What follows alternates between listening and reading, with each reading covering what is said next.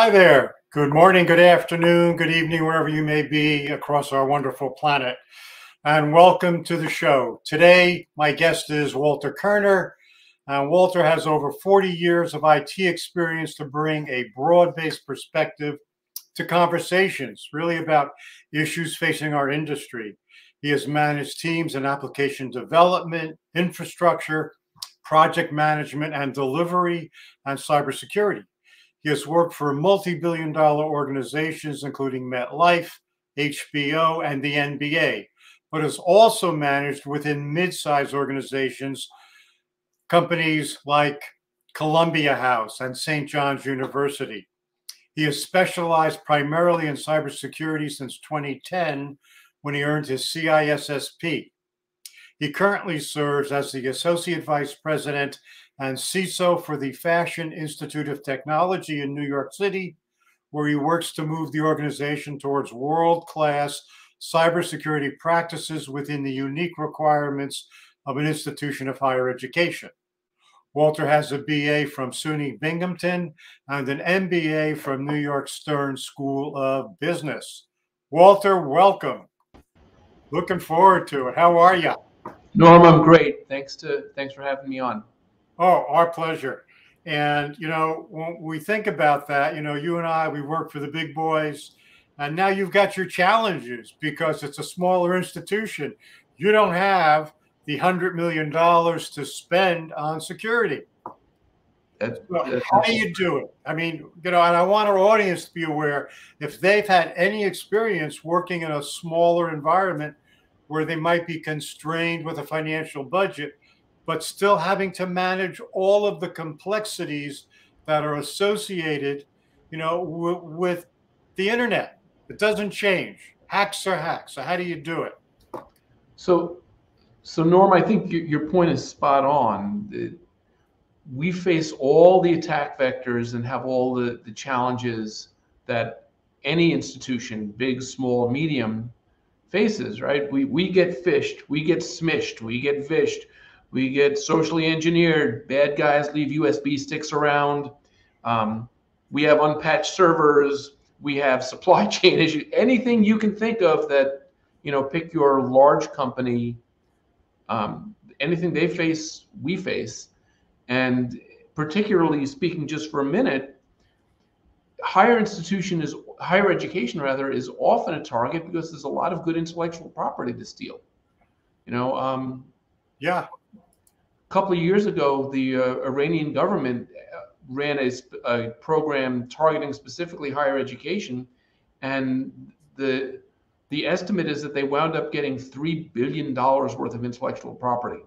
I mean, I don't know how you value intellectual property, but it was a big number. That's that's that's a lot of money. It's a lot of money. It is. but so how do you go about you know doing what you have to do? You don't have the funds like the NBA or the HBO or MetLife. It's an interesting challenge. I think there are a couple of things you do, and I, I believe that particularly for an SMB kind of organization, more than 50% of security is good IT. Right? It, it, making sure your servers are patched is fundamentally not a security problem, it's an IT problem. Security kind of comes behind and audits and taps the sysadmin on the shoulder and says, hey, you got to get this thing patched. But ultimately, it's the sysadmin or you know whoever in the organization is responsible for doing that um, you have to have a good inventory. Again, that's not a security problem. That's a running your shop problem. If you don't know what your assets are and what software is on them and what patch level they're on and who the users are and all of that stuff, you can't possibly secure it. So, good security hygiene to me is, or good IT hygiene, I should say, is really the, the critical piece of this. Um, because if you do that, a lot of the other stuff takes care of itself. Um, as much as zero day attacks are a real phenomenon, if you think about what a zero day is worth in the black market, it's unlikely that, that if somebody has a true zero day that's never been seen by McAfee or CrowdStrike or Sophos or whoever, If somebody's got that in their pocket, they're probably coming after the government. They're probably coming after a defense contractor. So, what's more important to me is whether is put it this way. I believe that a good antivirus program will catch most of what's coming at you, and the bad guys are looking for the unpatched server, not against the zero day, but against the patch you didn't apply six months ago. Right. And that is a problem. So speaking of that, do you like run uh, any kind of continuous monitoring against all of your environment? Sure. Um, we we use um, we we happen to use a. Sorry. um, it is what it is. Th- there are lots of good tools to, to, do a lot of things, and some of them are free, and some of them are cheap, and some of them cost a little more money, but they're worth it. Um, we use a tool called Alert Logic, but there are many. I don't mean to turn this into a plug for any particular vendor, but there are many in this space. But um, what Alert Logic they've included a vulnerability scanner, so we know the patching status of all of our servers. Um, and they're also monitoring traffic and they're looking at it 24 by 7 because I can't afford a 24 by 7 SOC. So as much as hiring a service costs a couple of bucks, um, it costs a lot less than hiring. They say that to staff one position 24 by 7, you need to hire six people. Yeah, I can't afford six people. Oh, you can't. Understood. So, so using an outside service where they take one person and syndicate it across 10 customers, or they take one position and syndicate it across 10 customers, that makes it affordable. Got it. Got it. And how about uh, managing the students, right? Uh, do they do they do you issue them laptops? Do they bring their own laptops? And how does all that work? So today we don't issue laptops. We're considering doing. We're, well, we're considering making BYOD even more of a requirement. Let's put it that way. We okay. have some computer labs and classrooms. We um, we image those off a very tightly controlled standard image, and um, for the for the non-FIT devices that go out on our network, those only get the public internet. So we restrict where non non institutional assets can go on our network. Got it. But so if I bring my own laptop, right, my MacBook Pro, so you're going to put an image on it for me now. Is that going? Is that correct? No. If if it's your personal property, then it's your personal property. Okay. But you're only going to get public internet from if you come on campus. Really? So as a student, all I get is public internet. I can't get into any of the classes, data, whatever. Well, we have built publicly facing hardened web interfaces, okay. HTML, you know, HTTP 443 kind of stuff. Okay. Um, but you, you know, it, it's you have to those kinds of servers have to be hardened and they have to defend themselves. Right. Right. So, um, what we there's that old um, analogy about the hard outer shell and the gooey inside. We don't let non-institutional devices run around the gooey inside. Got it. Well, you can't. You don't know what's on the machines. Right. But I mean, I guess the other alternatives, you could set up a Citrix VDI connection, but I assume that's probably a lot of money. It is, and administration and money, and you can, you know, you can lock that stuff. You can lock publicly facing stuff down. One of the great ways to do that, by the way, um, there's an organization called the Center for Internet Security. Yes. And CIS. Right. And, you know, almost, I don't know all the institutions that people on this call work for, but most of you probably have access either for free or for cheap to CIS, and they publish images or, or specifications for hardened images. So if you want to know what a good tight Linux image looks like, CIS will tell you, and it won't cost you a lot of money. Right. I hear you. I'm looking at some of the comments, and one from uh, Daniel Stewart. a zero day is probably more beneficial to sell it to the government. Given our current circumstances, that might be a possibility. Well, sure. And, you know, I have no way of knowing this, but when log4j or something comes out, right? You know, do I believe that somebody just discovered that, or do I believe that somebody's had that for a long time and now it's being published because the secret's out? I, you know, I don't know, but yeah, no, I hear you. So I'm curious, how many how many students um, attend FIT? About 8,500. 8,500. Wow. And what are your what are your challenges in terms of well, what the title of the show says, what keeps you up at night? So the it's a combination of two things. The the environment that we live in becomes more complex every day, right? We we talked about the various attack vectors, phishing, smishing, social, um, application layer attacks that nobody ever talks about, right? Everyone talks about sort of the layer two, layer three DDoSes, but you know, there's the SQL injections and the cross-site scripting and all that layer seven stuff that we have to think about. You lay on top of that the regulatory environment becoming more complicated, right?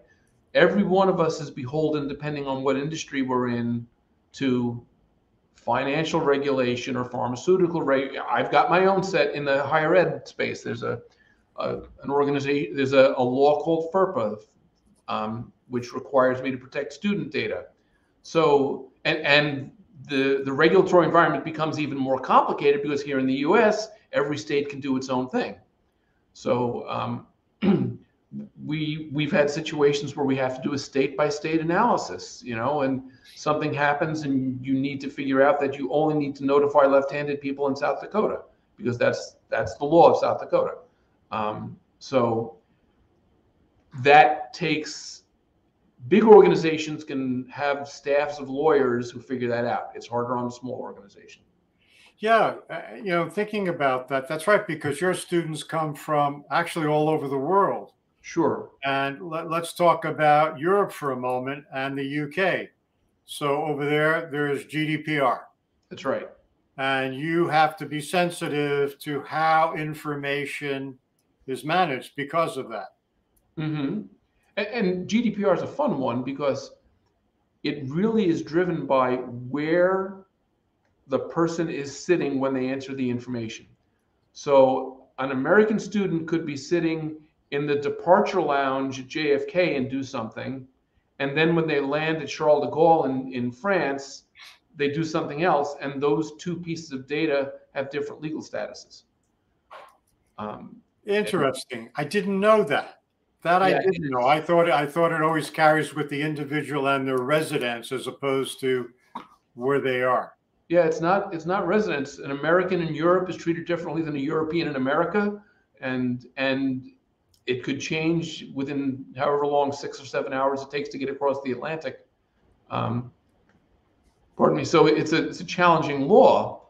And there are places where GDPR conflicts with American law, right? Um, GDPR says you have the right to be forgotten. That's and right. in some cases, American law says, no, you must maintain that record for seven years.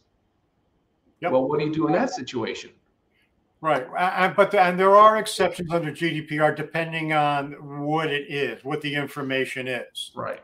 So let's see. We got great agreed. Right. So from Newfoundland, we have hey from Newfoundland, great session agreed on the more complex. By the day, we need to align with threat intelligence and start with what we know the attackers can archive and regularly aim to attack. Yeah, first. So I, yeah, I think that's kind of true, isn't it? Oh, oh, absolutely. And and interestingly, by the way, again for free, the Department of Homeland Security offers a program called Cyber Hygiene, where they'll depending on the vertical you're in, they'll scan your environment with no credentials. So they have a hacker's eye view, and they'll let you know what the bad guys can see. Um, at least it's more of a ports and protocols kind of uh, service. Mm-hmm. But you know, there's a lot. There's Shodan out there, which will show you what yes. I, uh, what uh, you know, IoT kinds of devices are visible on the public net. There's a lot of free services out there that you can integrate um, that are trusted that um, can help you get a sense of what the bad guys can see. Right, and you know you mentioned Shodan, and I love Shodan because if you're working in OSINT, open source intelligence, that clearly is one of the areas that you go to to find out who's doing what to whom and why, and if they can. Yeah, yeah, that that is that's a really good site uh, for people to go to. S H O D A N, folks. Look it up. It's a great way if you need to find something out. What's up? What's up on the internet? You know, uh, a great free reference, or I'm not sure what to call it, but free um, capability on the web is if you're trying to convince people in your organization that this cyber threat's real. Uh, I don't know who's familiar with haveibeenpwned.com. Yes, good, good um, site and it's it's a white hat site. It's but you can type in your email address and it'll come back and tell you whether it appears on the dark web, you know, in somebody's uh, in somebody's for sale database. And if somebody comes to you and says, "Oh, I, I am skeptical of information tech information security. I think you're making too much of it," you ask them what their email address is, and you find out that it's been compromised three times. Right. Yeah, and it's funny you mention that because I have alerts set up with uh, Have I Been Pwned, so they'll let me know if, if that's the case. Luckily, I do have a couple of email addresses that got compromised, but I no longer use them. Mm-hmm. So that's the good news. And and you may, and to our audience out there, you may want to consider if you have been compromised, change your email. I know it can be really, really difficult to do, but in some cases, for security purposes, it's the best way to go. Yeah, it's change your password first. That's the immediate thing, and then change the account if you can. Right. And Hamid, thank you for uh, spelling out Shodan. We, we had somebody else who tried to do it. Luckily, Hamid uh, did, did get it right. And it is a really, you know, a good site to see what's going on out there. So let, let's talk, you know, you're under regulations, FERPA. I'm not that familiar with the regulations uh, for that. Can you share with the with our audience what that's all about? Well, it's, it's the Family Educational Rights and Privacy Act, and it it, it kind of lives at two levels. One is the um, the rules that govern sort of the normal processing of student data. So, under what circumstances, for example, can a parent request to see the student's grades or whatever? And the answer is not many. But um, Really? I did not know that. Yeah, the college education is a transaction between the student and the college, mostly. You know, I don't want to, I'm, I'm not qualified to do a deep dive on every uh, exception in FERPA, but but then there are also some expectations around um, protecting the data. So, you know, you can't leave the student data in a file cabinet on Seventh Avenue. You have to have it in a properly controlled database with proper access controls and you know all the things that all of us do every day to protect data. Um, and you know, if you work in finance, you're subject to GLBA, and if you work, I'm sure in pharmaceuticals, got its own, and if you're in marketing, you've got credit cards. So each of us has our own. Got it. Yeah. Speaking of credit cards, do you have to be PCI compliant? Um, it as an individual institution, we do not because we use third party payers. But okay. you know, if we chose to do something different, we would have to be. And actually, that that makes really good practical sense when I think about it. To use a third party payer, let them send you the money. They take a little bit of a percent, but you know it, it probably costs a heck of a lot less than having to become PCI compliant for 12 months. Oh gosh, yeah. Yeah, and Walter, you may remember when we were at HBO and we had that little brick and mortar store on Sixth Avenue Forty Second Street, mm-hmm. and I thought, oh gosh, it's going to take take us a couple of months to become PCI compliant.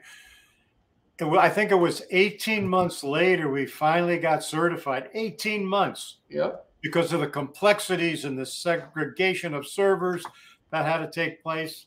And it didn't matter how many cameras we were focused in on the cabinet that had all the servers. That had nothing to do with it. It was about bifurcation. Well, well, that's right. You know, we actually have a small store on campus um, to sell student designs. Right.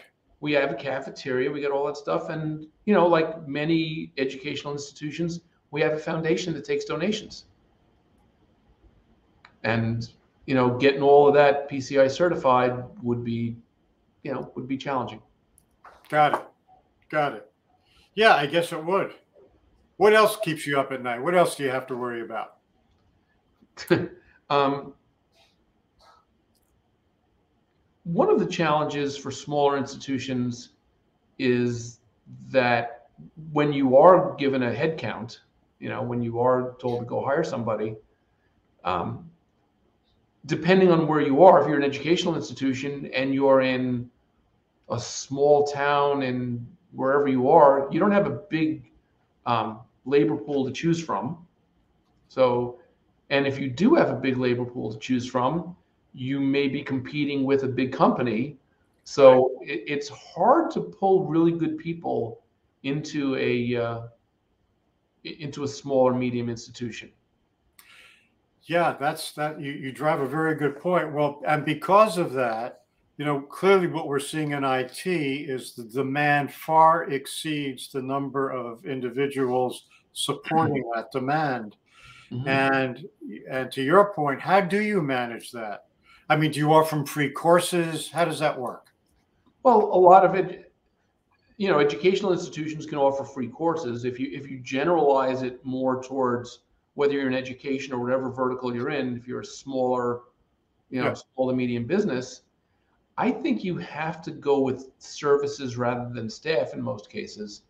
Um, because you can't hire enough people to do this 24 by 7 um, you you just can't and you can't get enough people. And the other problem is that 99 hours out of 100 things are sort of run of the mill. And then in that 100th hour when something bad happens do you have the person who can handle that instance?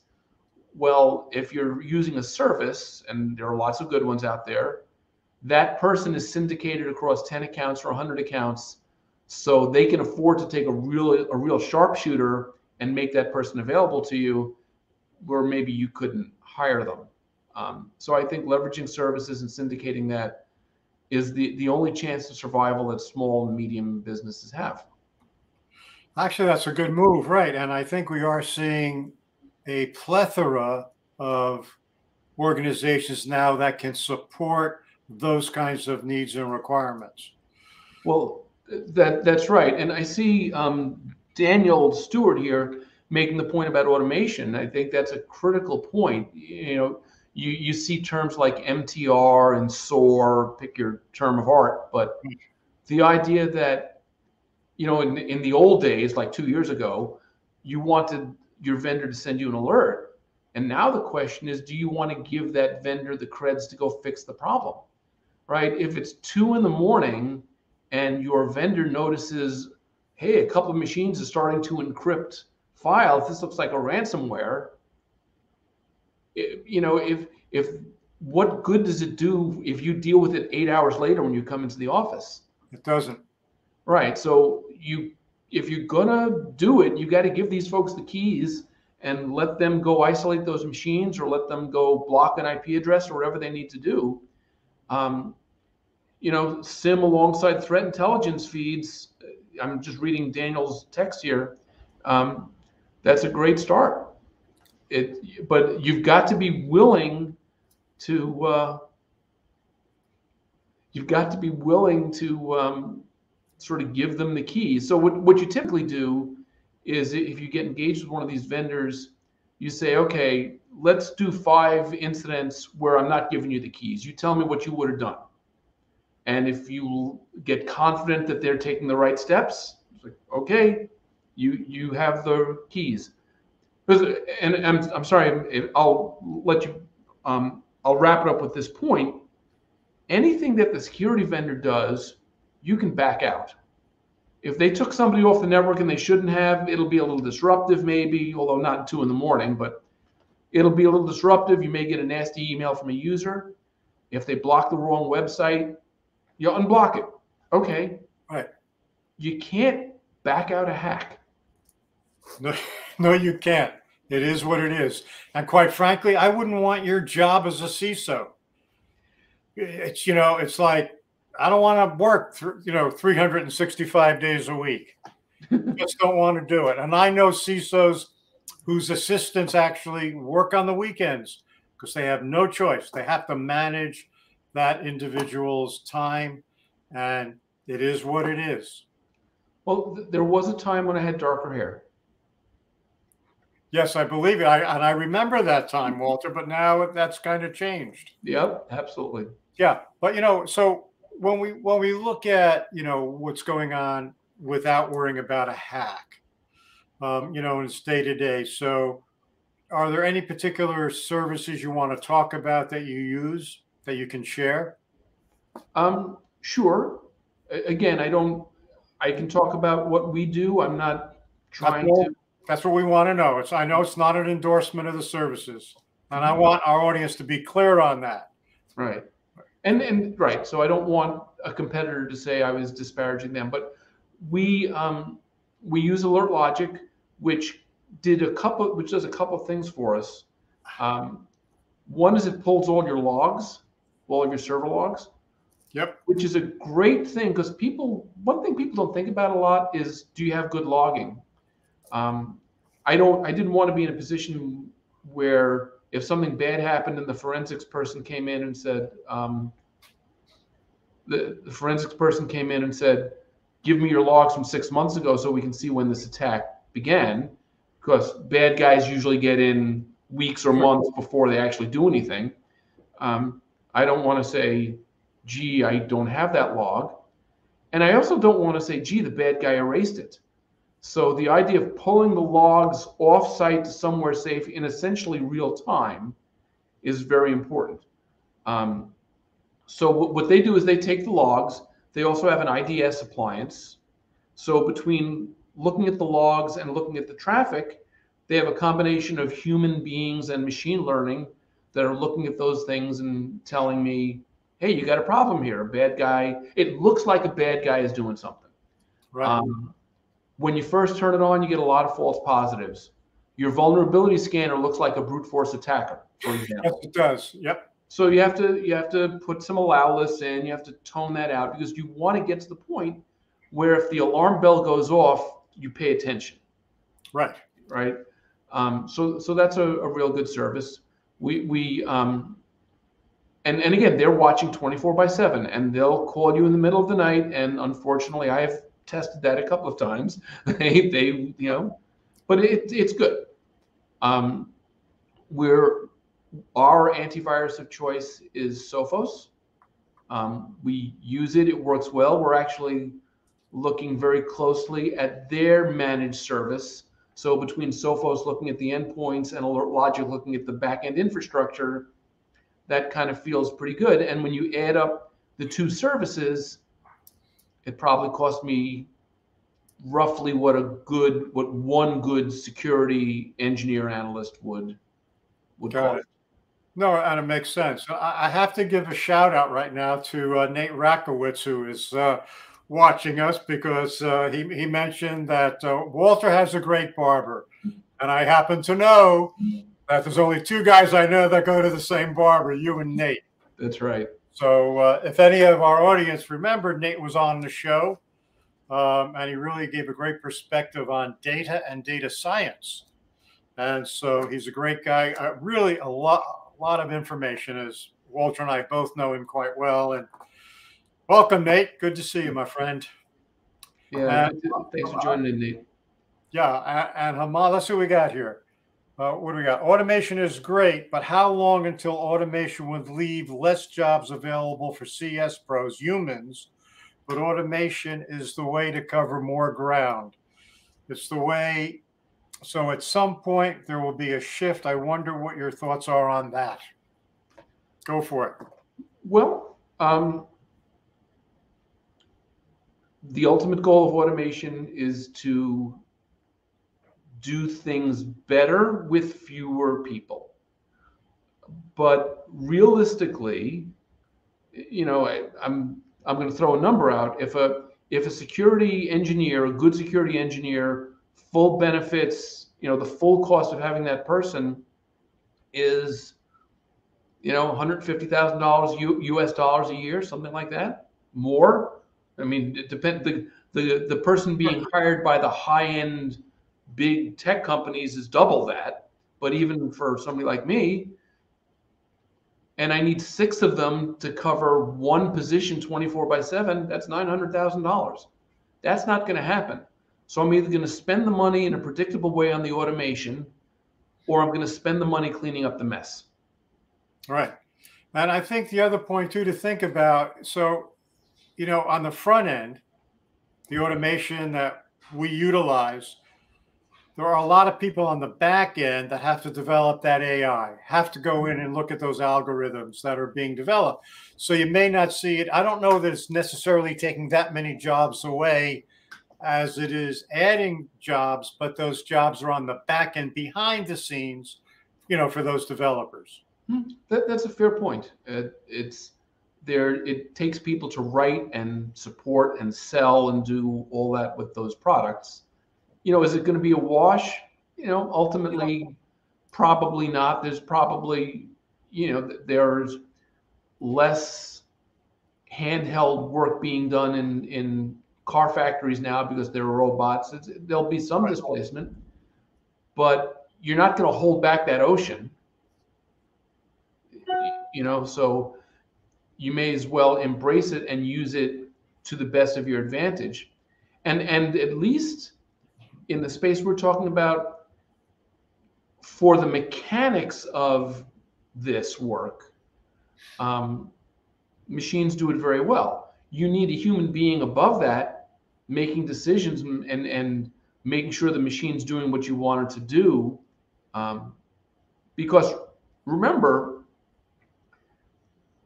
somebody's writing that code and immediately the bad guys are attacking those companies to get the code to figure out how the automation works so they can write workarounds for it.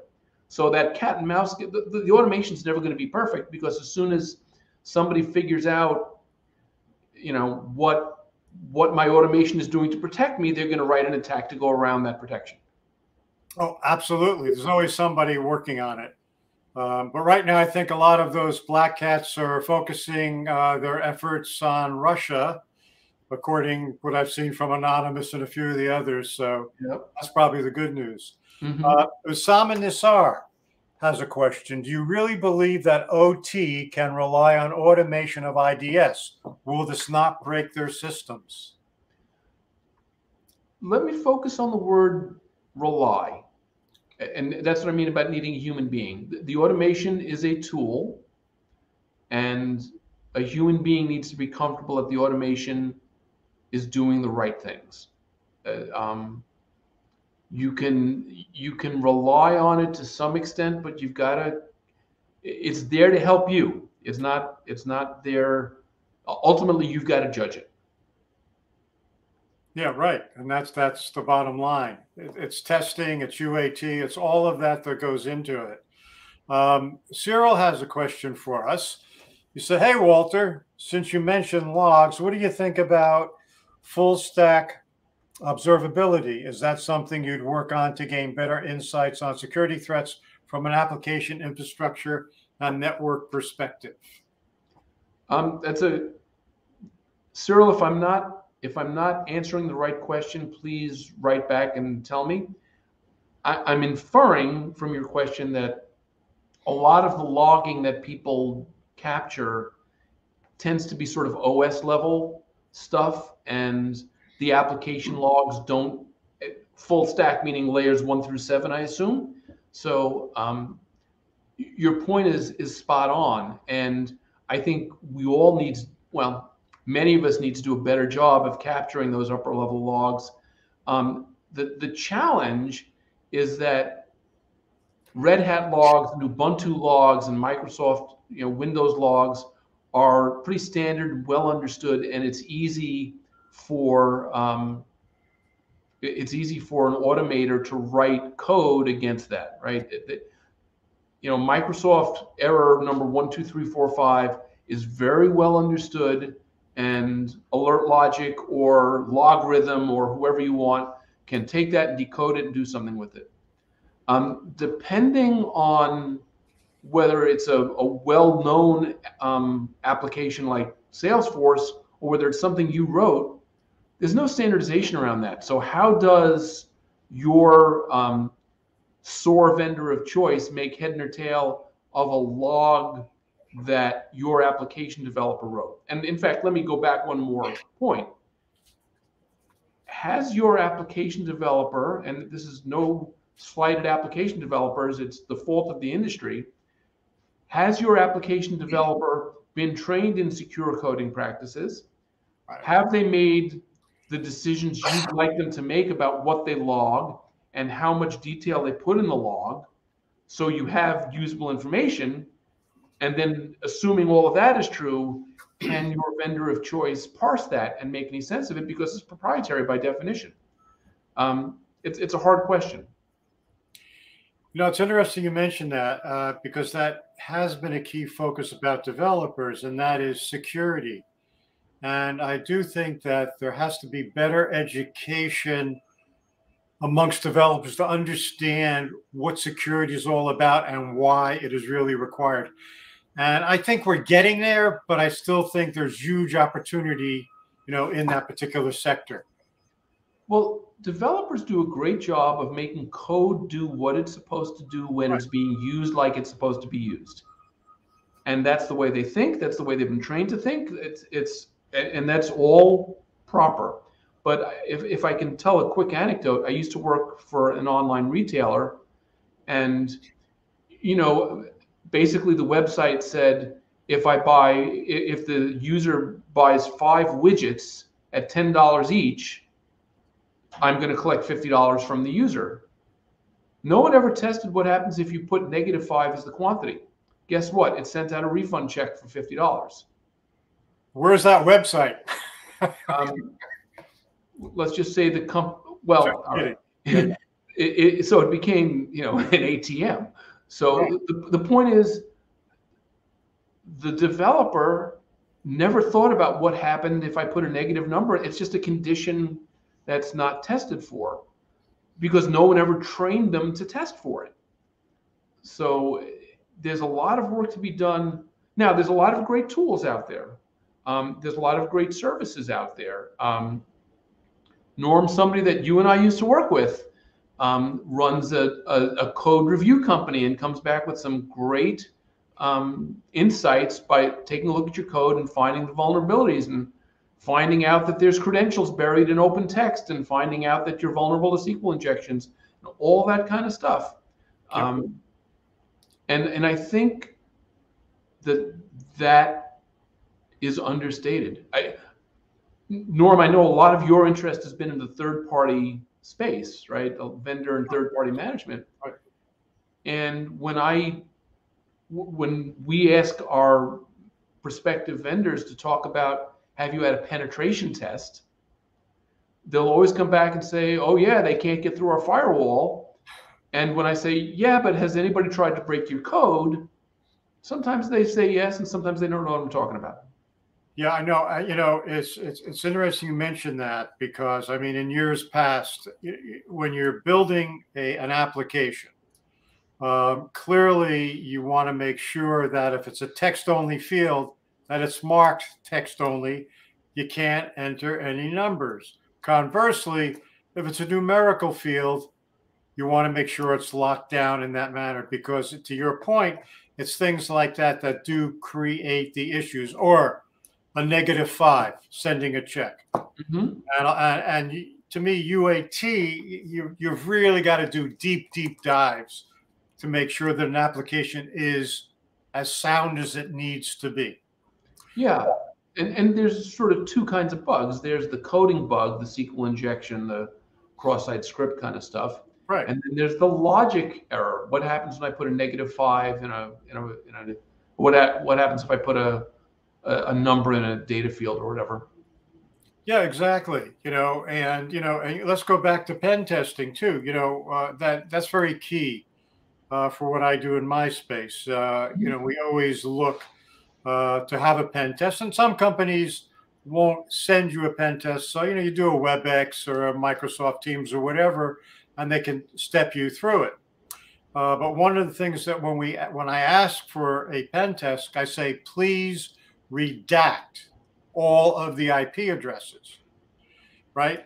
And there's a reason for that, Mm-hmm. right? And so I'm, I'm going to share it with our audience in that if you get sent IP addresses and that vendor gets hacked, their lawyers are going to bring you into the lawsuit and potentially accusing you of maybe causing the hack because you had the IP addresses. So you do not want anybody else's IP addresses for that reason. You don't want to see them. Mhm. And maybe laws are a little bit different in other countries, but I don't think so. I think it's pretty much a standard when it comes to, to what we do as information technology uh, experts, if you will.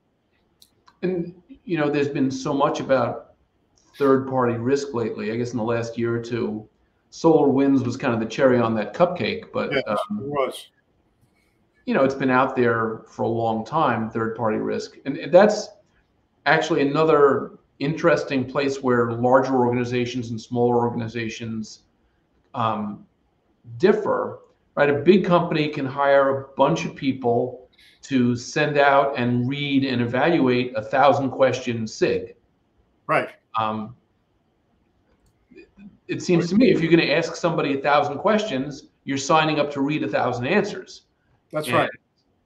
So, at an institution like mine, well, at an institution like mine, we have a much smaller questionnaire. Right. And How- you kind of have to say good enough is good enough. You rely on third party certification. So I, I ask somebody, can you show me a 27001 audit? And if the answer is yes, I'm done. I'm not going to crawl through that audit and, uh, you know, say, and eh, well, you, your passwords are 12 characters, but I want them to be 16. It's, it's not a good use of anybody's time. Um, also, I don't, I don't know how many folks here are from higher ed, but there's an instrument um, administered by EDUCAUSE called the HECVAT, which I'm going to try and get Higher Education Community Vendor Assessment Tool. And the way it works is that vendors, particularly those who cater to higher ed, fill it out once. It goes on file at EDUCAUSE. An analyst actually reviews it, and there's an analyst review page on top, and you can just pull it down so you don't have to reinvent that wheel. Um, you can always go back to the raw data if an analyst rated something high or low and you're not feeling certain about it you can go back to the raw data and make your own conclusion but again that tool is free Right. And that's good to know for our audience if anybody's in education. You know, you mentioned the, the thousand question SIG, and I have to share with you, I have probably gone through at least a few hundred of those in my previous role. Uh, you, know, with vendors where millions are spent on servicing, right? Mhm. In those cases, they have to answer all those questions sure and and you have to do it because of the amount of money that is being spent with them and you know you go through that but it's not only that you're, you're looking for third party certifications whether it's an iso a SOC 2 type 2 a HITRUST report uh, you, you want that you want a penetration test both internal and external. And if they'll send you their written information security pol- policy it's a win right? But not many companies will do that. But to your point, if you're not spending that kind of money, th- these organizations aren't going to do that. You have to send them a shorter type of questionnaire. And the challenges become then if you're talking about a company, let's say that you enlist for design work, and it's three, four, or five people. How do you go? And my question: How would you go about managing that? And how do you go about managing a small organization? so I think you send them a questionnaire with 15 questions 20 questions it's not a thousand. No. um, and you get them on the phone and some of this just relies on your experience as an as an IT professional or an information security professional and you have a conversation.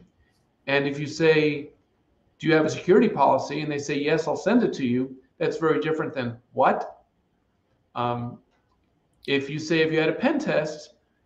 and they say yes and we'll send you a redacted version of the results, I almost don't care what the results are because it at least tells me they're thinking about it and their head's in the right place. And you know, if, if it's a three-person firm, that's about all you're going to get. Right. And then you have to decide is the business benefit you know i need the best in the world and this is a boutique firm and this is what they do and they're the best at it and second best will just ruin my campaign and i'll take the risk. Yeah i think you have to and i think you have to decide too you know if you if you have that third party firm uh what kind of data is it? Is it is it intellectual property? Is it design? What is it? That's right. You know, and if it's PHI or PII, then I go, eh, I don't think so. Needs to say on our servers, on our side of the fence, let's give them some kind of VPN access to work with that data. But if it's design work, it's a whole different game. Well, it's in, I see Daniel Stewart wrote, in fact, uh, try to never hack a third party you don't have permission.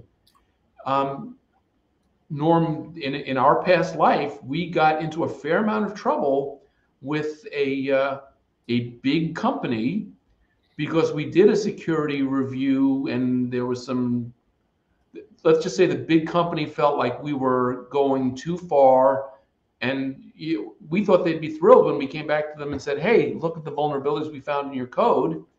And they weren't happy about it. So, um, if you're really going to dig in on a company, make sure they on somebody else's server or somebody else's code. Yeah, make sure they know it and make sure they're cool with it, or else, you know, the lawyers will descend on you. Yes, they will, and lawyers love to descend. Let me tell you, all the time.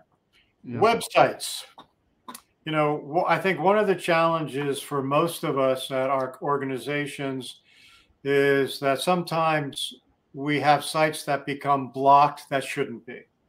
And in, in some organizations, it's easy. You go in, you get an alert, you clean it up.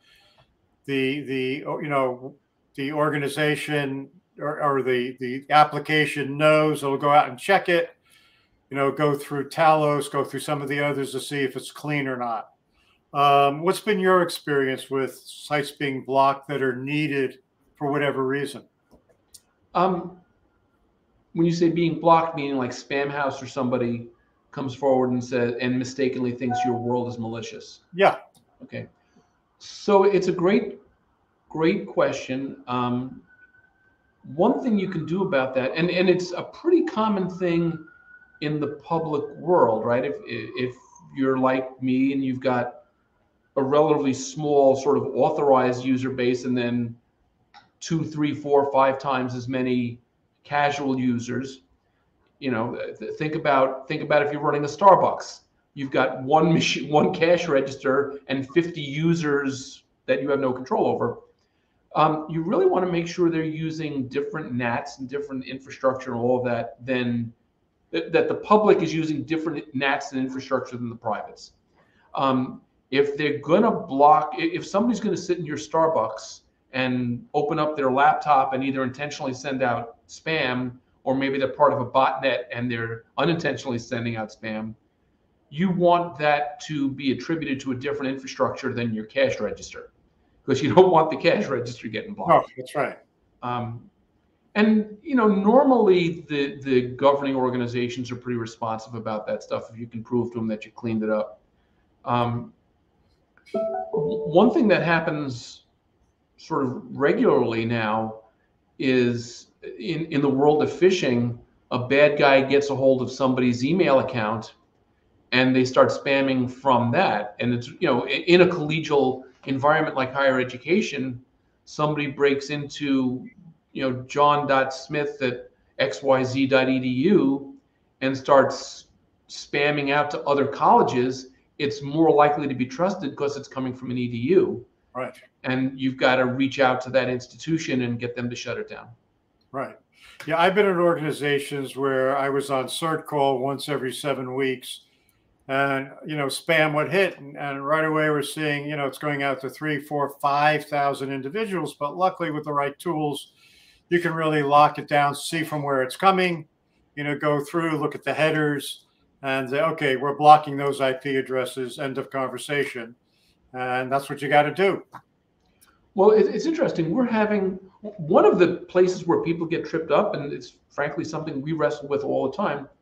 Organizations hire third parties to send email on their behalf, right? So if if you one of the most effective emails is a spoof, right? So if I'm writing to you at SANS.org, if I pretend I'm from SANS.org, you're more likely to read the email.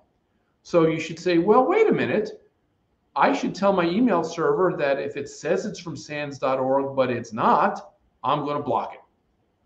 But what if I hired Constant Contact to send emails out on my behalf?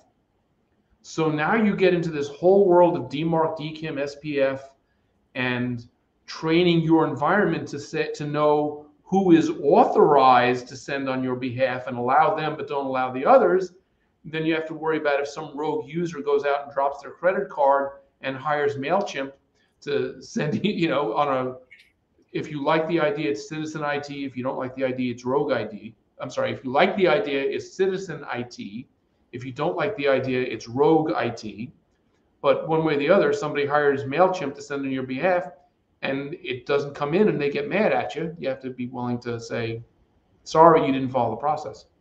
Right. Rule sets. Yeah. How to manage the rule sets. Mm-hmm. That is for sure.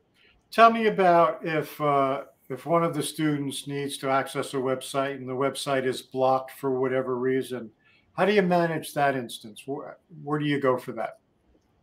Well, we block almost nothing based on content.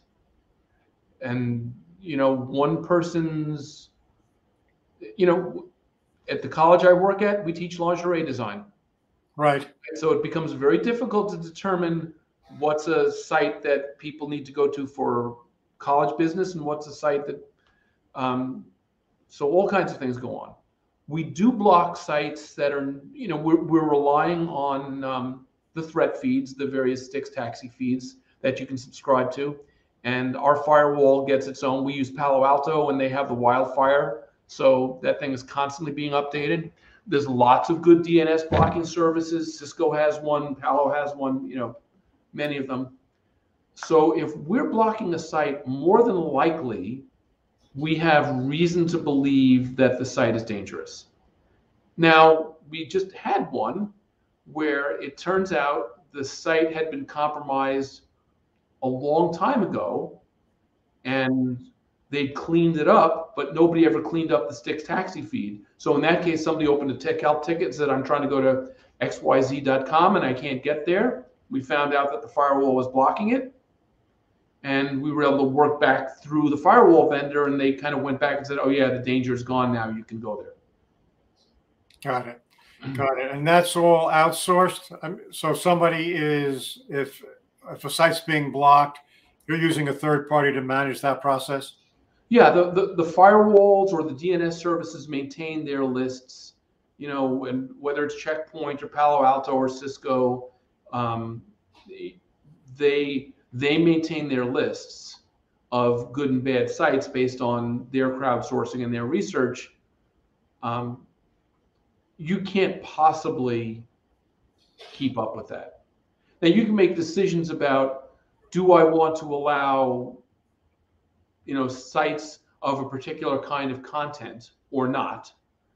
Um, and depending on the nature of your business, you may say, hey, it's free speech. We want everyone to go anywhere or we might want to say, you know, we're a closely regulated um, environment and we don't want anybody going anywhere that's not very closely tied to the business, but that's a business case. Got it. That makes sense. Good sense. So the last question.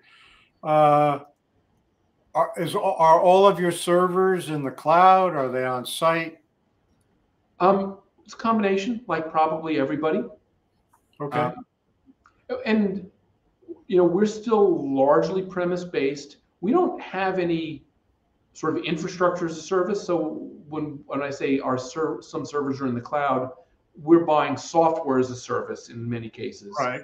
So the server by definition is in the cloud. Sure. But I don't have like vanilla workloads at Amazon or Google or someplace. Okay, got it. That that's where, where where I was going on that. So basically, a small data center uh, in on-prem, and with all of your SaaS stuff, obviously it has to be in the cloud. Right. That's good. So what's David Marshall saying here? Students are smart. They'll exfiltrate if they need a site. Why not just shameless plug isolate the UCAT? I'm not sure about what UCAT means, Walter. Maybe you do. I'm sorry, I'm not following that one. Yeah. David, you want to be a little bit clearer and we'll try and answer your question. Got a couple of minutes to go, so hopefully we can do that. Right.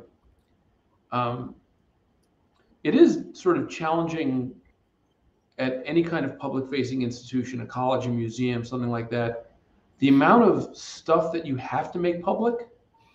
We, we get calls all the time when someone gets a piece of spam saying, How did they get my email address?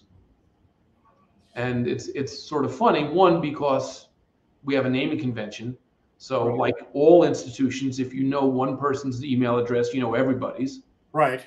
Um, people are on LinkedIn, right? So, I mean, a lot of us can be figured out on social media. Um, there's lots, and and um, oh, why not just isolate uncategorized sites? That's what.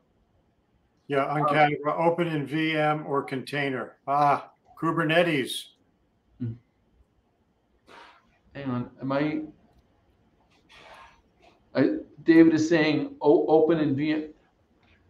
I'm, I'm seeing, we haven't done that yet, David. Um, uh, but I'm seeing more and more about it. You know, this um, browser isolation technology, where essentially instead of using the browser on your workstation, you're essentially it's essentially kind of cloud-based Citrix, where you're open, you're going to a cloud service or a sandbox, or whatever you want to call it, that opens a browser that opens the site.